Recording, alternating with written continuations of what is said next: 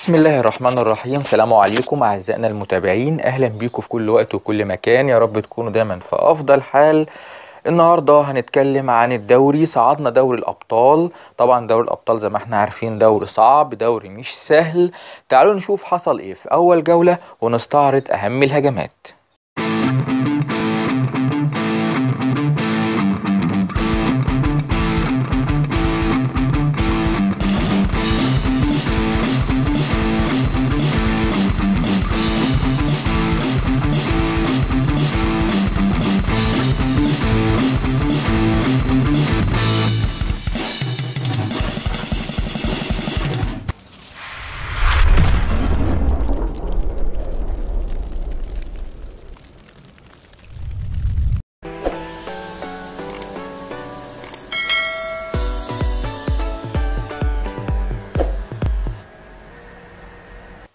الجولة الأولى زي ما إحنا شايفين الخريطة كلها بيبقى التشكيل كله town 14 max.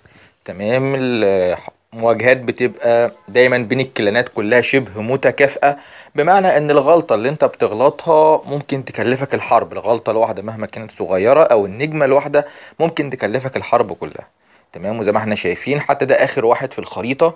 شايفين level كام؟ وشايفين أرضه عاملة إزاي أو القرية عاملة إزاي؟ طيب قبل ما نبدأ الجولة وقبل ما نشوف حصل إيه تعالوا نشوف كده الترتيب الأولي أو الترتيب المبدئي قبل بداية الحرب. وأعتقد إن هو بنسبة كبيرة يكاد يكون معتمد على الدفاعات. آه طبعا يعني بداية غير مبشرة. إحنا كنا في المركز الأخير اللعبة مقيمانا إن إحنا المركز الأخير من ضمن الكلانات المشاركة. تمام؟ تعالوا نشوف الجولة الأولى خلصت بإيه. انتهت الجولة 32 30 كلان ماجستيك فلوك. يمكن زي ما إحنا شايفين الخريطة إحنا مسحنا ثلاث هجمات وأنا غلطت. يمكن الهجمة الوحيدة اللي فشلت كانت الهجمة بتاعتي وهم عشان كده عاقبوني هيشلوني من التشكيل بعد كده. لكن على الرغم من كده الحمد لله ربنا شاء إن الخصم فيه عنده. هجمة اللاعب بتاعها ما هجمش خالص وهجمة بدون ولا نجمة. فده اللي عدل الموضوع وده اللي ساوى الكفة وقدرنا إن إحنا نفوز 32 30 طيب. إحنا كان عندنا ثلاث هجمات مسح 11 هجمة نجمتين وهجمة نجمة واحدة الهجمة الفاشلة بتاعت العبد لله. الخصم كان عنده خمس هجمات مسح سبع هجمات نجمتين لكن للأسف ضاع الكلام ده كله عشان في عنده هجمة ضاعت ما اتهجمتش تمام؟ وهجمة من غير ولا نجمة. النت فيها فصل. نتيجة لكده زي ما إحنا شايفين ربنا كرمنا بالفوز 32 30 دي كانت أول هجمة نمرة 11 عندنا الجوهري هجم على رقم 2 زي ما إحنا شايفين المخطط max كل حاجة. استراتيجية الكهربي نزل كهربي electro ومعاه 2 بالون عشان لو في ألغام أو فخاخ بالتالي يقدر ينظف الجوانب بحيث إن الجيش كله للداخل. نزل صف البالون بحيث لو في لغم أو في فخ ونزل وراه الكهربي ومعاه الآمر. بقية الملوك بيبقى عينهم لغاية الآخر على أساس يبدأ يتحكم في الهجمة أو سيرها بعد كده. مع الاشتباك طبعا مع ال inferno مع ال single ومع الدفاع الجوي فعل طاقة الآمر بالتزامن مع نزول الآلة الطيارة اللي هي رايحة لل town تمام؟ وعشان تقدر توصل لل town هنزل تجميد على المنجنيق بس لسه ما فتحتش لغاية دلوقتي. الآلة هيبقى فيها عندي هنا بالون على أساس إن هي تدمر مبنى ال town بالفعل تم تدمير مبنى ال town. كده إحنا 46 47 خلاص داخلين على 50 49 نجمة 50 نجمتين. الجيش عندي لازال مكمل زي ما إحنا شايفين بس ما عادش فيه تجميد للأسف. فلما الجيش هيشتبك مع ال inferno والدفاع الجوي اللي فاضلين في الآخر أعتقد إنه مش هيقدر يتجاوزهم بسهولة. في عندي كان ناس مع المنجنيق اللي في النص. طبعا المنجنيق بصحته كاملة. أعتقد التنين ده هيموت والتنين اللي مع الانفيرنو كلهم ماتوا فاضل الآمر. أعتقد هيموت هو كمان فاضل تنين واحد في اليمين. بدأ ينزل الملوك في الشمال الملك وراه الملكة على إن هم ينضفهم ويأخر نزول البطل الملكية شوية بحيث إن يضمن إن هي تروح لقلب المخطط للمنجنيق نفسه. الملك عندي أهو شغال لغاية دلوقتي لسه ما فعلتش الطاقة بتاعه أي منهم. ما بعد ما نضفت بطريقة معينة الوضع بقى عندي هنا مهيأ نزول بطل ملكية. للأسف طبعا الهياكل بدأت تشتتها. المنجنيق مش راحمها بس لغاية دلوقتي لسه ما احتجتش إن أنا أفعلها. فعلت طاقة الملك. الملكة هفعلها قبل ما تموت مباشرة عشان أستفيد بأكبر قدر من الصحة أقدر أستفيد بيه. الملكة هبدأ أفعلها دلوقتي وهدخل على المنجنيق. الملك عندي لازال موجود فعلته بس لازال موجود بصحته. الملكة لسه ما احتجتش إن أنا أفعلها. تمام؟ البطلة الملكية قضت على المنجنيق فاضل عندي برج ال archer اللي في الآخر وما احتجتش إن أنا أفعل الطاقة الخاصة بالملكة. ودي كده كانت نموذج لهجمة البالون والتنين الكهربي town 14 وطبعا زي ما إحنا شايفين الملوك ال max فرقوا كتير في آخر الهجمة وهم اللي خلصوا الهجمة. مسح! تعالوا نشوف مع بعض هجمة تانية. ودي هجمة رقم خمسة عندنا زلزال على رقم تلاتة. دي كانت باستراتيجية التنين العادي والبالون وراكب التنين. أه هبدأ في الأول إن أنا هنزل بيبقى في عندي الجوبلين الخارق على أساس إن هو يشيل بعض مباني الموارد اللي في الأول تمام؟ فيساعدني في التنظيف. وهبدأ بعد كده إن أنا أبدأ أنزل الجيش بتاعي. بالفعل قدرت أشيل كام مستخرج من اللي موجود ومفجر السور. فتحت فتحة عندي هنا هتساعد بعد كده في دخول الملوك. نزلت الملك في اليمين ووراه الملكة. بعد ما الجزء اللي في اليمين اتنضف كده الملوك مضطرين إن هم يدخلوا القلب المخطط للمدفعية تحديدا. وطبعا وكان فينا دفاع جوي هحاول التخلص منه. وأبقى كده سهلت المأمورية على التنين وعلى الجيش بتاعي. طبعا الملك دخل. الملك اهي رايحة وراها تدخل هي كمان. فعلت طاقة الملك. بدأت إن أنا أنزل البالونة عندي عشان لو في فخاخ التنين وراه وهبدأ أنزل وراهم الآمر والراكب التنين. تمام؟ الجيش عندي أهو مكمل. طبعا الآلة عندي هنا اللي بتروح للتاون مع زيادة درجة الاشتباك. هبدأ أفعل طاقة الآمر بحيث الآلة لغاية ما توصل لل town تكون في حماية الآمر فيديها حفاظ لغاية ما توصل لل town. مع الاستنساخ قدرت إن أنا أدمر مبنى ال town. كده يبقى أنا بتكلم تقريبا في نجمتين خمسين في المية أهو. تم القضاء على المدفعية.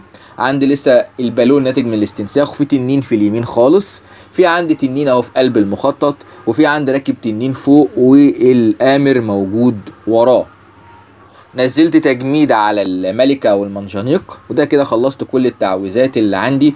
ودلوقتي يعتبر جيش التنين الناري أو التنين العادي ومعاه راكب التنين تعتبر الاستراتيجية رقم واحد في تاون 14 بس أهم حاجة إنك تنظف الجوانب جيدا. وهنا طبعا لو قدرت تساعدهم إنك تتخلص من بعض الدفاعات الجوية ولا سيما المدفعية تبقى سهلت عليهم جامد. عندي اهو الجيش لازال مكمل. في عندي راكب تنين فوق مع الآمر ومع البومة الكهربائية وفي عندنا تنين تحت. الملكة رايحة لهم بس أعتقد الملكة صحتها قليلة. هيقدروا يتغلبوا على الملكة. كده كل اللي فاضل لي المنجنيق لو قدرت أتخلص من المنجنيق كده خلاص تبقى الهجمة خلصت مسح. بالفعل تم التخلص من المنجنيق. فاضل عندي مباني الموارد اللي هو المخازن المستخرجات وفي عندي سكنات ورا كلها مباني عادية خلاص ما عادش فيه أي دفاعات وبتنتهي الهجمة مسح. تقفيل 3 نجوم بنسبة 100% وغير كده كمان ميزة الاستراتيجية الخاصة بالراكب التنين والتنين العادي الوقت. إنك دايما الوقت مش بيسرقك. أنت ممكن تخلص الهجمة وتلاقي فاضل عندك دقيقة فاضل 50 ثانية. بتلاقي دايما في فاضل عندك وقت فائض. عكس طبعا هجمة البالون واللافا للأسف إنك بتحتاج كمان معاها الملكة الماشية فدايما بتلاقي عندك الوقت أحيانا مش بيسعفك. تعال نشوف كده الهجمة التالتة معانا كانت هجمة مين؟ الهجمة التالتة معانا كانت هجمة 8 الجوكر على رقم 8 عند الخصم زي ما إحنا شايفين. طبعا المخطط قوي يعني جزء كبير من الدفاعات ماكس مش كلها بس في جزء كبير منها ال town بره. وهو هيهجم برضه باستراتيجية التنين تمام؟ بس مش مش مع راكب التنين وما يعتبرش فيه بالون. 11 تنين تمام؟ وفي ال goblin الخارق في الأول استخدمه عشان يحاول إن هو ينظف شوية يقلل الدفاعات ونزل golem ثلجي قبل الملوك. عشان يستفيد بالتجميد اللي هيحصل بيه وبالفعل بدأ يستفيد بيه أهو خلاص هيموت. هيبدأ يجمد الدفاعات اللي موجودة في المنطقة وعشان نضف بدأت الملوك تندفع لقلب المخطط وبكده قدر يخلص من دفاع جوي وفي إلكترو بينظف في الناحية التانية فكده يضمن إن الجيش ينطلق إلى قلب المخطط. هنزل تنين فقط من غير بالون خالص. وراه طبعا الآمر ومعاه البومة الكهربائية. بدأ ينزل عندي هنا غضب. تمام؟ هيبدأ أعتقد ينزل استنساخ عشان يبدأ عندي يكتر من الجيش خصوصا مع الاشتباك مع الدفاع الجوي. ومع نزول الآلة الجوية بدأ يفعل طاقة الآمر عشان يحتفظ بالجيش كله ويحاول يحتفظ بيها لغاية أما توصل لل town لغاية دلوقتي لسه ما نزلش الاستنساخ نزل واحد عندي هنا عند ال town أهو. لا نزل أكتر من واحد عند ال town بحيث إن كمية البالون رهيبة زي ما إحنا شايفين. طبعا مع الغضب تم تدمير كل حاجة في المربع ده جمد ال inferno البالون قضى عليه فاضل عندي اتنين دفاع جوي وفي منجنيق. تمام؟ طبعا الدعم كاللافا من الدعم اللي بيتعب جدا التنين بالفعل قضى على التنين وراح لبقية الجيش. أنا لسه عندي البطلة الملكية اهي موجودة. ولسه في عندي ممكن استخدمهم للتنظيف في baby وفي baby dragon وفي minion. بدأ ينزل baby dragon عشان يساعد في التنظيف إن الجيش يبدأ يدخل شوية لجوه. تمام؟ في عندي تنين جوه هيقدر يشيل الحاجات ال- مبنى القبيلة ومبنى القنابل. وعندي هنا الجيش هو لازال مكمل اللي فاضل منه اتنين تنين عادي واحد كهربي معاهم بيبي دراجون وفي ال- الآمر. لازال مكمل. طبعا البطل الملكيه شغالة وفعلها كده يعتبر الدفاع اللي فاضل هو المنجنيق لو قدر يدمره يبقى كده مسح بمنتهى السهولة. البطل الملكية بتحاول معاه هتصمد هتصمد. صمدت لأ. صمدت التنين هو اللي مات. هي صمدت. تنين ساعدها. دخلت على برج الساحر. كده خلاص انتهت كل الدفاعات وانتهت الهجمة مسح. من الحاجات المهمة جدا توقيت نزول الملوك. وإمتى تفعل الطاقة الخاصة بتاعة الملك؟ ومش بس التوقيت كوقت لا والمكان اللي تنزله منه بحيث إن يحقق الهدف اللي مطلوب. طيب تعال نشوف كده ترتيب الكلانات بعد انتهاء الجولة دي. بقى إيه وإيه اللي حصل في باقي المواجهات اللي كانت معانا في الجولة؟ باقي المواجهات اللي كانت معانا في الجولة إحنا clan Professionals فوزنا 32 30 clan Family اتعادل 33 مع يوزي بي بس نسبة الدمار هي اللي حكمت ليوزي بي آه، في clan آه، روسي كان بيلاعب آه، يوليري سي- سولتاس. خلص لصالح يوليري 33 26 وكان كلان كيكي أكسدوس 35 وده يمكن أكتر عدد نجوم حصل في الجولة دي. 35 33 لكلان إيجنارد أو ايجن ارت بالتالي زي ما إحنا شايفين بتبقى نسبة النجوم كلها قريبة كلها حوالين ال 30 النجمة الواحدة بتفرق جامد قوي في دوري الشامبيونز سواء كانت ليك أو عليك. تعال نشوف كده الترتيب النهائي دلوقتي بقى إيه. بعد إضافة المكافأة لعشر نجوم إضافية للكلانات الفائزة في مواجهات الجولة الأولى clan كيكي في الصدارة 45 يليه clan ميولري 43 متساوى معاه في نفس عدد النقاط clan يوزي بي 43 أيضا ثم clan Professional 42 زي ما إحنا شايفين الفروقات صغيرة وده طبيعي لسه بعد الجولة الأولى وبعد كده الأربعة اللي خسرهم في باقي الترتيب. في النهاية أتمنى يكون الفيديو ده عجبكم وتكون هجماتنا حازت إعجابكم. انتظرونا بإذن الله في فيديو الجولة التانية وشكرا.